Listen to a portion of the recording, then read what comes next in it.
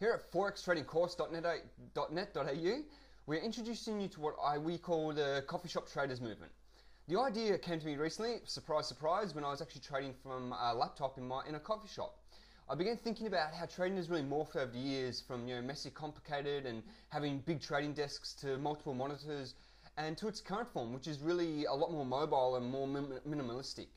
You know, trading this matter actually helps me keep um, emotion over, over trading at bay because rather than walking into an over-the-top room you know, full of uh, 10 flat-screen monitors where I might feel compelled to enter a trade, I have everything I really need to be successful on my laptop. I have found over the years that you know if I've found over the years that, that I can always find what I call a you know damn obvious price action signal on any given day, and I'll be able to spot this trade very finely, like very easily on, on my laptop, whether I'm at home, at a friend's house, or even at a coffee, coffee shop.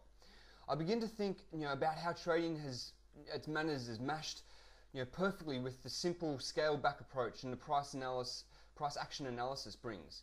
It really compels the package of minimalizing trading. You know, this in contrast to the facet of the stereotypical trader analysis, anal analyzing and trading the markets markets on a you know, big stack of flat panel monitors while poring over countless economic news reports and technical uh, indicators all day.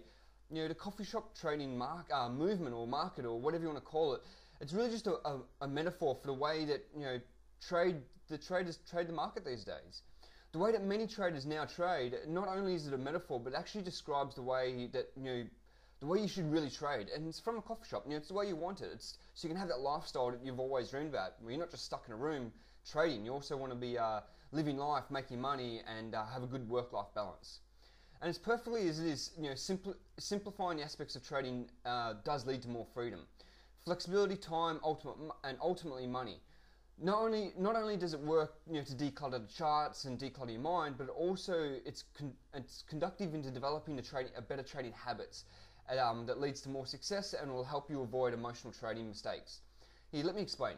When you're becoming a uh, coffee trader, coffee shop trader, it really is the end result of simplifying your trading strategy, minimalizing your time to spend analyzing the market and such, uh, you know, each day, and generally just taking a, a, calm and scaled back approach to trading.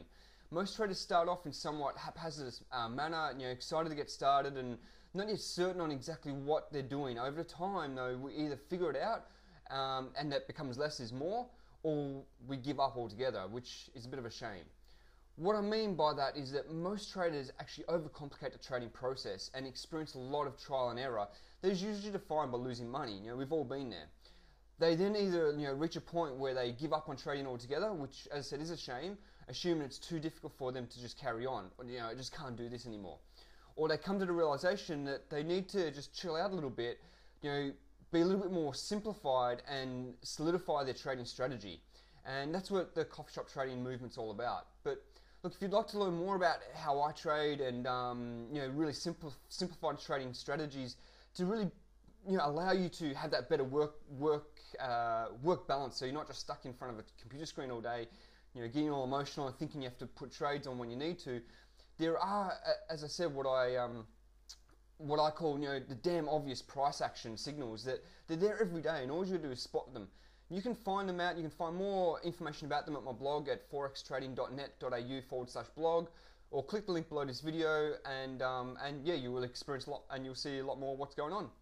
Alright, that's uh, over and out. If you like the video, click like and uh, subscribe to my channel.